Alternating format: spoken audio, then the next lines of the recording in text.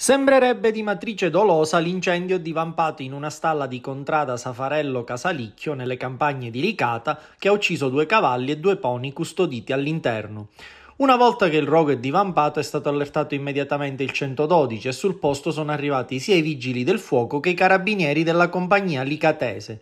I vigili hanno cercato di estinguere le fiamme e circoscrivere l'incendio per salvare gli animali, ma le fiamme avevano già compiuto la loro tragica opera e per gli animali non c'è stato nulla da fare.